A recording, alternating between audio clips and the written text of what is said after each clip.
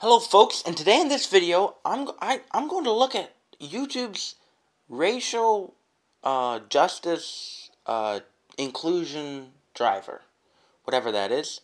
Uh, uh, today I got an email from YouTube saying, here, look at this, um, we're just going to show you how to make the world a better place.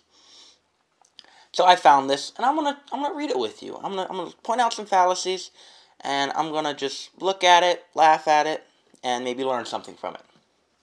Okay, so I got to this page. It's called the Inclusion Driver. It says tips on how to create content that reflect the world. That's good. YouTube's mission is to give everyone a voice and to show them the world. Wow. So I love stats. Stats are basically my middle name. Because as you saw in my last chess video, I like to show off my stats. Anyway, but these stats are really cool because they're just cool. So it says on-screen representation in media has yet to fully reflect the diversity of the United States. So basically, YouTube wants to make everybody in the United States have a voice. 51% of the United States population is women. That means 49% is male. That means I am part of a minority in the United States. Oof. That's. okay. Oh, this is so good.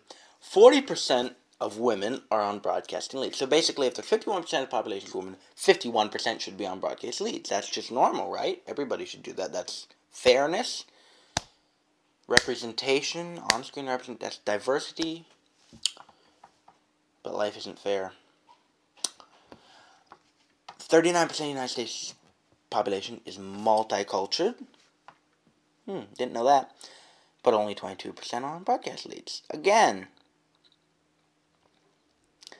what if the only this stat is is an interesting stat, but what if it's just not normal? What what if like um just like white males are just like the better broadcasting leads?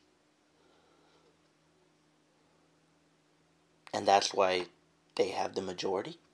I don't know, that's just a thought. 20% of Americans identify as LGBTQ. Whoa, that's a new one. L LGBTQ squared.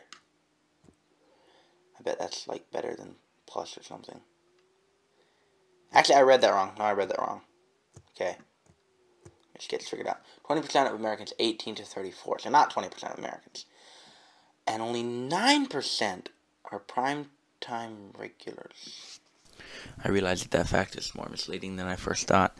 So, for the first figure, 20% LGBTQ, that's 20% of people 18 to 34. And then for the next fact, they're not taking the the they're not taking the percentage of primetime regulars that are 18 to 34. No, they're taking all primetime regulars. So therefore the number is even lower. So it's it's so the second fact makes it look really low, and the first fact is making it look really high. So that the the change in facts makes it look like it is a super imbalanced system when actually it is probably way more balanced than that. Okay, people with disabilities. Thirteen percent of Americans have disabilities, so this could be like, um, I guess a broken leg, uh, maybe a mental disorder, or simply have to stick in a wheelchair, but they're still super smart. I know a YouTuber that I listen to, and he's disabled, so I guess there's someone. Only 2% are primetime regulars. Again, this stat is slightly um, lopsided. There's a fallacy of, of um, lopsidedness. Basically, when people are disabled, it means they can't do certain stuff. Like they can't walk, or they can't think right, or you know, stuff like that. They have a, what is it, down no uh, uh, Special Olympics, like that's great. But if somebody is disabled, they can't do certain things. And what if one of those things they can't do is being a primetime regular, like, or being on, or only, or being in primetime regulars? What if like they're disabled, disables them from doing that? So like, like, that's why there's only two percent because they're disabled, and they just can't do that. Like, so that fact is kind of, you know, just, just, just slightly skewed. Women and multicultural women and multicultural people are underrepresented in the STEM or STEM workforce and in media portrayals. STEM stands for Science, Technology, Engineering, and Mathematics. Ah, learn something new every day. Hmm. Okay. Guess we'll give we'll take their word for it. Why should I care? Why should I care? I don't know. Media can reflect and shape culture. Amen. Media is highly consumed and tremendously powerful. Amen again. It can influence the public's perception of certain subjects and careers and marginalize people. Hey Google, what does it mean when you marginalize someone? Okay, so to marginalize someone would be to like make them work for you or something. Okay, so I guess media can make, I don't know, okay. 73% of US adults use YouTube. Hmm, that's this is YouTube brag time. YouTube is the most widely used online platform for US adults and teens. Just think of this as YouTube brag time, YouTube brag time, YouTube brag time. Okay. 51% of US adults visit the platform at least once a day. That fact is also slightly skewed because when I first read that, I was thinking, oh, 50% of 51% of Americans visit, visit YouTube every day, but that's not true. It's 51% of adults, so it's like children have like not as many people as you think. 85% of US teens use YouTube. I'm one of those. 41% of US I'm a teen. Yeah. Today I turned 15. I must be a teen then. Okay, 41% of US YouTube users are multicultural. I guess they're bragging. I wonder how many are like white or Chinese or something. Do they have YouTube in China? Hey Google, is there YouTube in China? According to Comparitech, yes, YouTube is blocked in China. Force for Good. How your channel can foster great inclusion. Consider utilizing equity driven models to create diverse and inclusive content. Equality aims to promote fairness, but it can also work if everyone starts from the same place and needs the same help. Equi- Equity is giving everyone what they need to be successful, whereas equality is treating everyone the same. Okay. So equity is giving a smart person $1 and he becomes successful. And equality, no, equity is giving one person $1 and he'll become successful, and giving another person a billion dollars and he'll be successful. But equality is giving everybody $1. Okay, just learn something. What top content? What topics are covered and what perspectives are included? Okay, so what am I doing to help uh, diversify YouTube? Boring, boring, boring, boring, boring, boring, boring. Is there diversity among my on-camera? Yeah, we just had a Mexican on here a while ago. Yeah, we're very diverse. Mm-hmm. And we had a couple chickens. I believe we had a couple chickens and ducks. Yeah, we had a couple ducks. Yeah, that's very diverse. We don't have any girls on here that often, though. Yeah, maybe we'll have to change that. Among my last 10 videos, is there diversity among the voices? Do I even have 10 videos?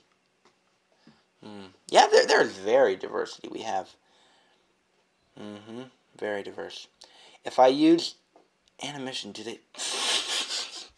okay, I shouldn't laugh.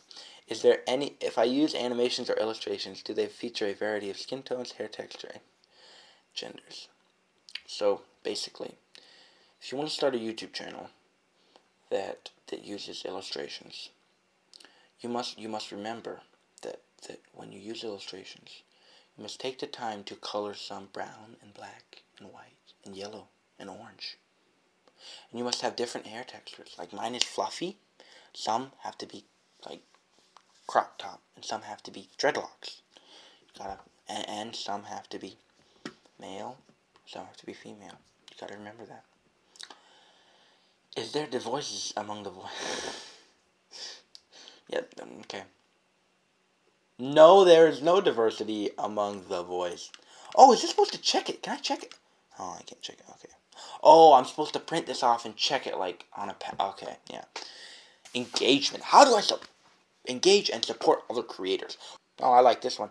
Am I educating myself about marginalizing perspectives by engaging diverse, blah blah blah, uh, i.e., watching, liking, and commenting on multicultural videos? No, I'm not. I only watch white YouTubers. Well, I'm reading this. This is good. This is good. You know that that is right. I only do watch white YouTubers. That's all. No, I, I only subscribe to him. I watch him. Hmm. I never thought about that. Okay.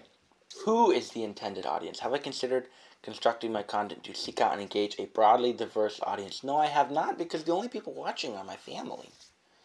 Is my content in if my content includes subject matter that is culturally biased against certain groups, am I providing content is welcome? Yes, this video is all about um, providing context to um, all the stuff they're talking about and making it not sound as bad as they're trying to make it sound. Organizations should also consider when conducting. Uh, skip that. Behind the camera, who is on my team? Me. Is there diversity among the production and editorial teams of my channel? Hmm.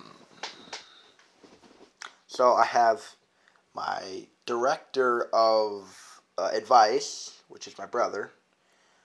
I have my director of secondary advice, which is my other brother, and my director of um, making sure I don't post anything stupid. Uh, that's my sister, and and then the editorial and production teams are me. I like thinking of myself as a team. That's pretty good. Am I engaging experts and thought leaders from the first round? No, I'm not. Uh, sadly, I don't know what I should say. My family's my family's my uh, project. Um, thought leaders, so uh, they're all white. Hmm. Sources. Where did they get all this? U.S. Census Bureau. Look at this. Source number eight. Yeah, YouTube just put out a PDF to all its creators. Their number eight source was themselves. Mm-hmm. That that's just that normal. I here on the Hutterman Dan channel. Um, I just wanted you to know that Bullet Chess is beautiful, and as you can see, I'm gonna state my sources right here. Um, it, it says like my last video said bullet chess like my sources are Hutterman Dan, but I what I say is what I say is is is the truth. And don't and don't don't like disobey me.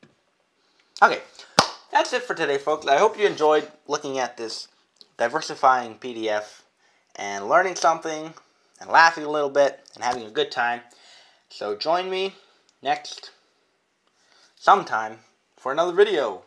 Remember to subscribe and uh, if you have a YouTube channel, go read this so that you can learn too.